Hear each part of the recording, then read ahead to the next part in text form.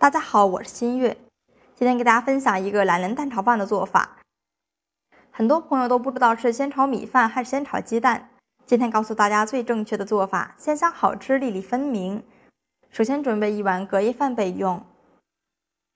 去小菜园里面摘把新鲜的嫩豆角，摘洗干净以后切成小段儿，切好以后放在碗中备用。准备半根胡萝卜，先切成厚厚的薄片，再切成长条，最后切成小丁。切好以后也放在碗中备用。半个洋葱切成大宽条，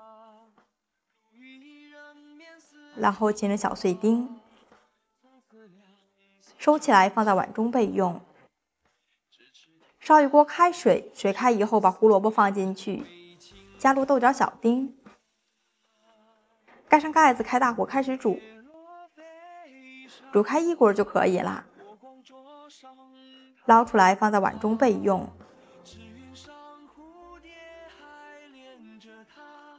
碗中打上两颗鸭子生的笨鸡蛋，把蛋黄取出来。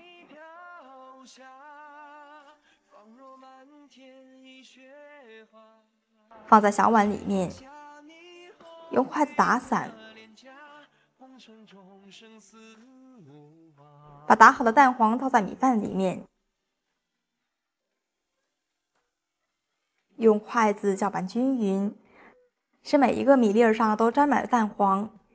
锅子烧热以后，倒入八二年食用油，把搅拌好的米饭加进来。用铲子按压成小饼，再给它翻炒，这样可以快速炒散，炒成粒粒分明的状态。全程开大火来炒制就可以啦。炒好以后，把蛋清放进来，快速把蛋清炒散，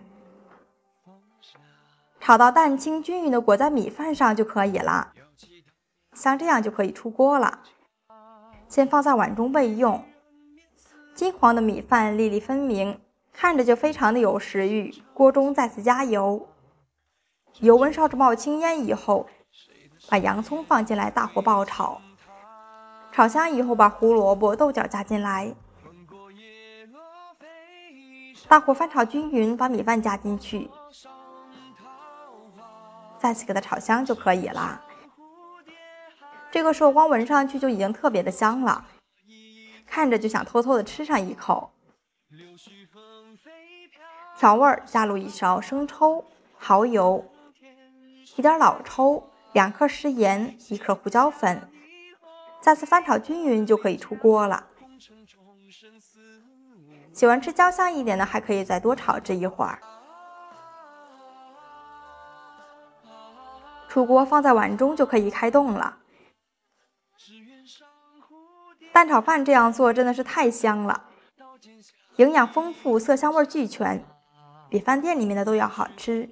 如果你也喜欢，就点赞、关注、收藏起来试试吧。无论是站着吃还是坐着吃都好吃。我是新月，我们下期再见，拜拜。红尘重生似无望